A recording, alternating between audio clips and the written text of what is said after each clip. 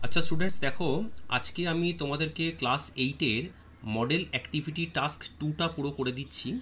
এখান থেকে দেখো আমি ফিজিক্যাল সায়েন্সের অংশগুলো আমি করব এবং লাইফ সায়েন্সের অংশগুলো সমৃদ্ধি ম্যাডাম করে দেবেন। ঠিক আছে? দেখো, প্রথম কোশ্চেনটা দিয়েছে, পারদের ঘনত্ব তেরো পয়েন্ট ছ গ্রাম হলে, প্রতি সিসি হলে পাঁচ লিটার পারদের ভর কত কিলোগ্রাম হবে তা নির্ণয় করো।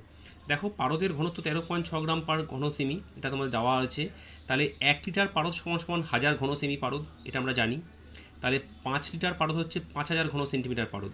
এবার আমরা জানি যে ভর ইকুয়াল টু ঘনত্ব ইন্টু আয়তন, অর্থাৎ m equal to v into d তাহলে দেখো ঘনত্বের মান বসিয়ে দিলাম এবং আয়তন যেটা দেওয়া আছে, পাঁচ লিটার পারদ, তার মানটা বসিয়ে দিয়ে দেখো গুণ করলে আমরা আটষট্টি হাজার গ্রাম এই মানটা পাচ্ছি। অর্থাৎ আটষট্টি হাজার গ্রাম মানে হচ্ছে আটষট্টি কিলোগ্রাম। ঠিক আছে তাহলে? এটা হচ্ছে প্রথম প্রশ্নটার উত্তর। তোমাদের মডেল অ্যাক্টিভিটি টাস্কের আরেকটা প্রশ্ন ছিল, উদ্ভিদে বিভিন্ন ধরনের প্লাস্টিডের ভূমিকা।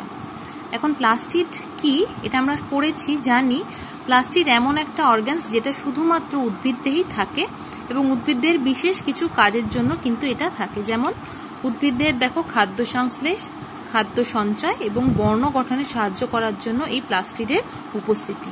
এখন প্লাস্টিক দু রকমের উদ্ভিদে দেখা যায়। একটাকে আমরা বলি বর্ণযুক্ত প্লাস্টিক, একটাকে আমরা বলি বর্ণহীন প্লাস্টিক। বর্ণযুক্ত প্লাস্টিক আবার দু রকমের, একটা ক্রোমোপ্লাস্ট, একটা ক্লোরোপ্লাস্ট। আর বর্ণহীন প্লাস্টিককে আমরা বলে থাকি লিউকোপ্লাস্ট। সাধারণভাবে বলতে গেলে বা দেখতে গেলে প্লাস্টিক সাধারণত তিন রকম, ক্লোরোপ্লাস্ট ক্লোরোপ্লাস্ট এবং লিউকোপ্লাস্ট, ঠিক আছে? ক্রোমো, ক্লোরো এবং লিউকোপ্লাস্ট।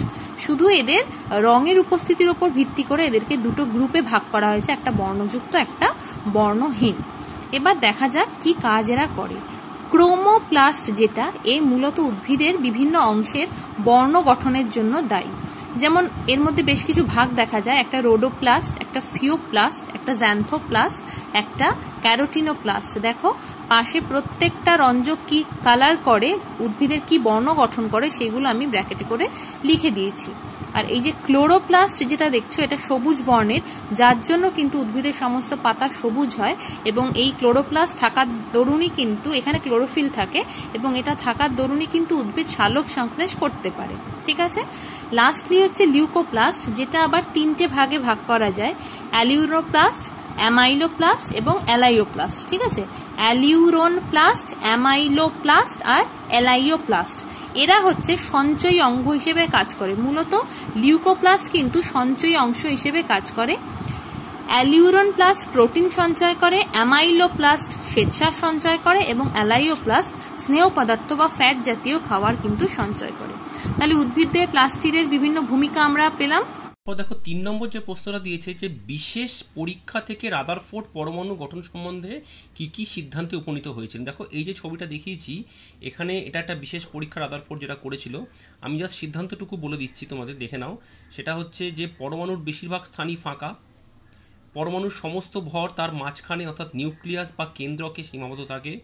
এবং তিন নম্বর হচ্ছে নিউক্লিয়াসের চার্জ ধনাত্মক। এবং নিউক্লিয়াসকে কেন্দ্র করে ইলেকট্রনগুলি নানান বৃত্তাকার পথ কক্ষপথে ঘুরে বেড়াচ্ছে। অর্থাৎ এই যে এখানে রাদারফোর্ড তার আলফা কণা বিচ্ছুরণ যে পরীক্ষাটা করেছিল, এই আলফা কণা বিচ্ছুরণ পরীক্ষার থেকে উনি যে সিদ্ধান্তগুলো পেয়েছিলেন তা এই হচ্ছে তার চারটে প্রধান সিদ্ধান্ত। তোমরা এটা ভালো করে খাতায় লিখে নিও। ঠিক আছে?